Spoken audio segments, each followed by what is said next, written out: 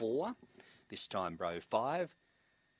Capitus in seven and Extreme Care Box eight. All locked away now. The ninth here at Mount Gambier.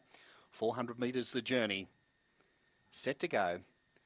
And away. And winning the start, Blackpool Marvel leads settling down from into second placing General Max around the outside Capitus. Then two lengths away, Ethan's Fury, followed by this time Bro back at the rear, Extreme Care.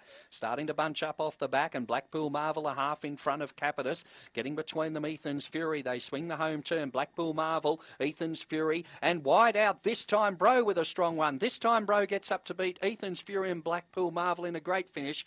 In fourth placing there was Capitus, then came General Max was back towards the rear of the field there with extreme care. Putting in the big strides down the outside. This time, bro, winds up the winner. Over good go for second and third. I think the one will get second there ahead of the two. And we'll stand by to confirm. Yes, that's now in the frame. Five this time, Bro Beach. One, Ethan's Fury.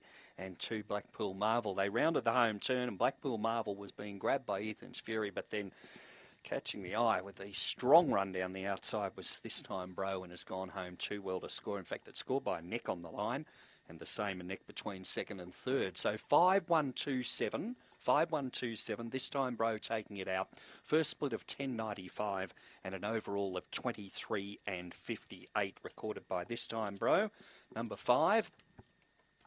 And this time Bro, pretty good odds too, around $23.10 on the UTAB. This time Bro, a black dog, at March